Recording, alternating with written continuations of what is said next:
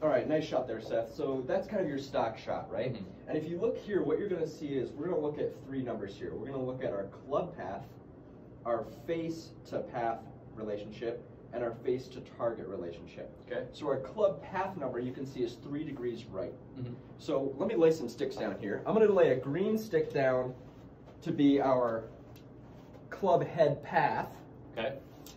a blue stick down for our club face, and then I'll use this white one as our target line. Okay. So I'm going to put this target line right on the ball. We'll just pretend the ball is gone. Now this is our target line. This is where we're aiming the shot, right? Yeah. To hit that draw that you just hit, you can see that ball started just to the right of the flag. And actually, if I look at that, you can see the face to target, 1.5 degrees. So it's just Yeah. to the right of the target. So I'm going to put this blue line, this is going to be our club face, and you can see that it's just right of where we're aiming. Okay. But our club head path, you can see is three degrees right. So that's a little bit more to the right of our club face.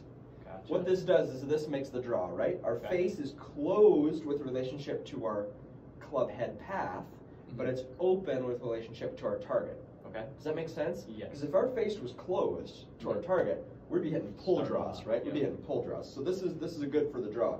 So in order to hit the fade, we just have to do this exactly opposite. We've got to get our face a little bit close to the path, or to the target, excuse me.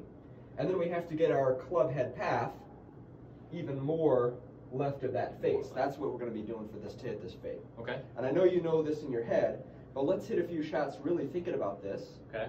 and then let's see what it looks like on our flight scope. So let's Okay. grab, let's grab this ball here and let's try this again.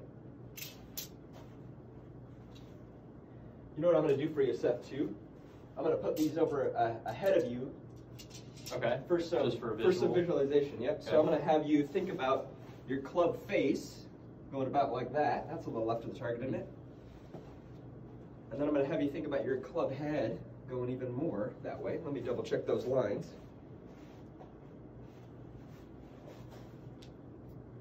This might help you just kind of feel it in your head. Okay. But go for it. Try to hit one there, and we'll see what it looks like on the on the flight scope.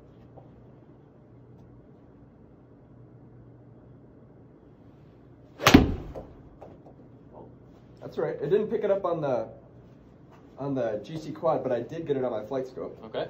So what you can see is your club path was four and a half degrees left, so that's Oh, good. We okay. were in that green zone, right?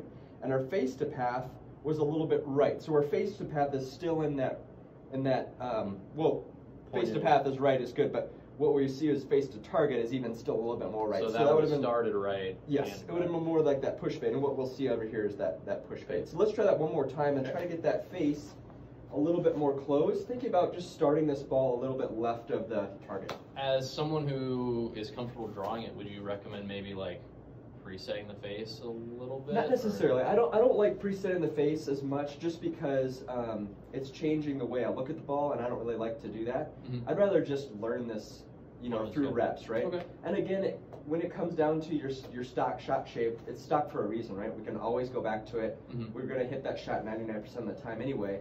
This is just that specialty shot that you're not really gonna be using very often. Okay. So it's let's just get ourselves to really force it, and then we'll kind of come back and Okay. see what we need to do from there. Same field, just. Yep, same exact field. Just try it again.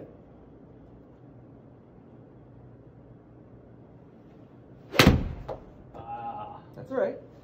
Like you said, this is not your easy shot, right? No. Not your easy shot. So let's not even. I'm not even gonna let you look at the data yet. Okay. You tell me what that ball did in the air. So I think my I think my path was good. My path was left, but I think my face was closed to my path. Okay, and if you, I, I and if you look at a that, little bit. Okay, if you look at that that um, that shot shape, would you? Does that make sense with your head? Yes. Yeah. Great, and you're and you're pretty right. So the club path, excuse me, club path was close. It was about zero. It was like Oh, wow. one degree left, right? so it was it was left, but it was just barely left. But yes, the face was even more left than that, right? The face Yeah. really shut down, and we can see that by the start line. Remember, the start line is mostly influenced by our club face. Okay. So if our if our start line is really left, we know that our face was closed, right? So Mm-hmm. good. You tried to close your face in that one. You did it.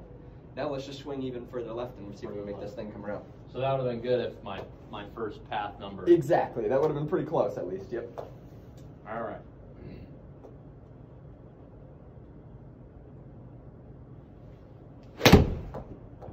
Awesome. I think I got that. Yeah, I think you I did didn't too. pick up again. I think you did too. Let's see what the numbers say here. Club path one and a half degrees left, and face to path one point two right, face to target point four left. So that would have been like the perfect baby fade. It would have been really really good. And we can see that that Ah, shot down there, flight scope even says it's straight, right? But it was definitely a fade based on our numbers here. Okay. And based on your smash, you hit it really really good. So we know that that was just probably this perfect little small buttercut. fade. Yep, that was Okay. really really good. Perfect. Let's try that one more time. Maybe we'll. And I want to I want to just show you a little trick here. I Okay. want I want you to move that ball just a hair more forward than it would normally be in your stance. Okay. So the seven iron's a little bit forward anyway, but let's just go a touch more, and this will be a little bit easier to do. Okay.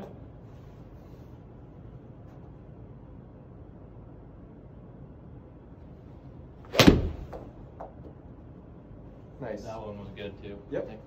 Let's see what it says. You can see your carries going down, right? Because we're adding a little more loft and kind of cutting across it. That's all good things here. All expected. Nice. Club path's really getting left now, 2.7. So that's about what your normal draw cut or draw um, path is, just opposite. That's really good.